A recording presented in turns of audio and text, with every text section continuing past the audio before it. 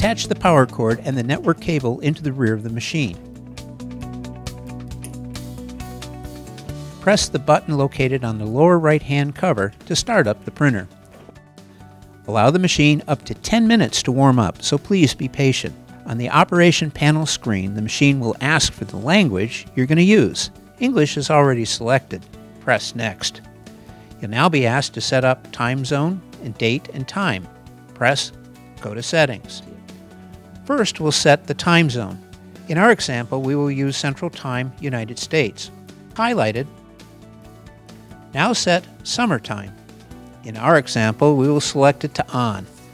The next screen, date and time, will appear. Change these settings if needed.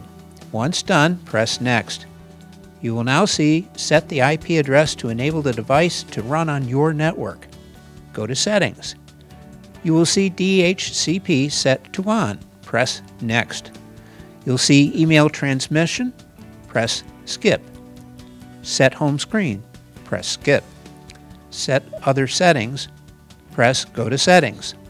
The routine machine consumable replacement status message will appear during normal operation. It is defaulted to on. Press Next. You will see Prevent Missending. Select Skip. To complete setup, press Finish. You should now see Completed and Are you sure you want to print a status page? Since this is the first time the machine has been turned on, you will need to add paper to the cassette. For now, just add letter paper. Select Print.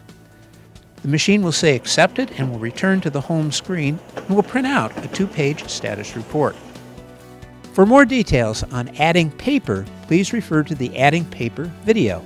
For details on the altitude adjustment, please refer to the altitude adjustment video.